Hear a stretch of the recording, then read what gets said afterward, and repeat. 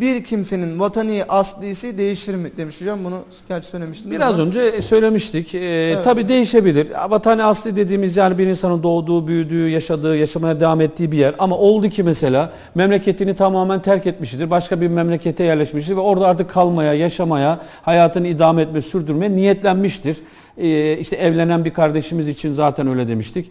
Ee, veya bir işte herhangi bir olay şeyden sonra mesela memleketini tamamen terk etti, geldi, yerleşti İstanbul'a, Ankara herhangi bir memlekete yerleşti ve artık geri dönmeyecek. Dolayısıyla o hayatını devam ettireceği yer o kişi için artık ne olmuş oluyor? Vatani aslı olmuş oluyor. Yani vatani aslı değişebilir.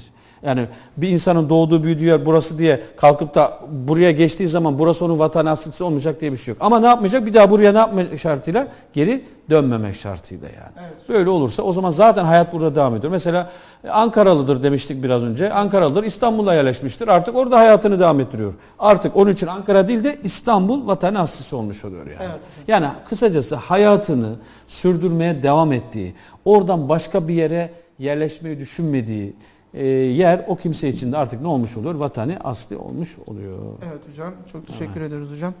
Ee, bir sorumuz daha hocam. Cuma günü sefere çıkmakta bir beis var mıdır diyor hocam.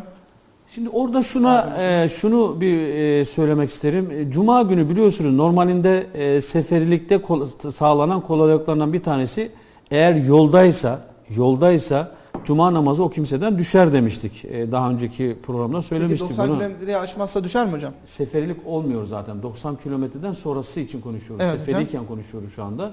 E, ama şuna dikkat etmesi lazım. Mesela diyelim ki yola çıkacaktır.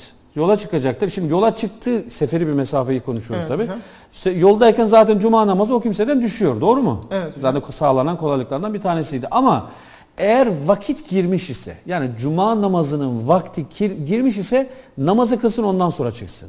Çünkü deniliyor ki eğer diyelim ki cuma günü sabahtan yola çıktı daha vakit girmemiştir. O kimse için tamam sıkıntı yok çıkabilir. Yani cuma namazı yola çıkabilir. Ama Tam cuma saatinde tam cuma saati gelmiş. Cuma saat o zaman ne yapacak? Artık cuma namazını kılıp o şekilde yola çıkmak lazım. Eğer cuma namazı vaktinde bakın bu biraz önce söylediğimiz o tır şirket dedik ya biraz önce. Bu, bu Evet. kardeşlerimiz buna biraz dikkat etsinler. Mesela e, arabasını yüklemiş arabası yüklemiş yola çıkacak. Normalde yola çıktığı zaman seferi de demiştik değil mi? Cuma düşer demiştik. Ama cuma namazı vaktinde çıkmasınlar.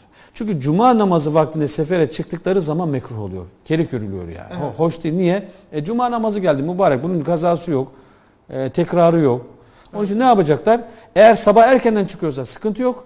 Ama cuma namazı vaktinde oldu ki işi gecikti, şöyle oldu, böyle bir sebepten dolayı kaldı. O zaman cuma namazını kılıp ondan sonra yola çıksınlar. Yoksa cuma namazı vaktinde sefere çıkıldığı zaman mekruh olmuş oluyor. Evet. Yani hoş görünmüyor, güzel görünmüyor. Yani. Yani şöyle diyebiliriz hocam. Önce Rabbimizin rızası. Yani, bir Yani. Müslüman zaten Yani. namazını hesap etmeden hiçbir şekilde Yani hareket sonuçta etmemesi her lazım. ne kadar yani. cuma namazı yoldayken müsaade ediliyorsa da vakit girdiğinden dolayı Cuma namazının vakti girdiğinden dolayı namazını kılsın.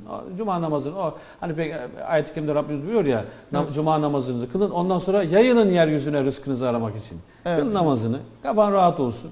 Ondan sonra zaten yoluna Zaten Rabbim ondan sonra yolunu açar Zaten yani. kolaylık rızkını da ona göre bereketini Mevlamız verecektir inşallah. Evet hocam.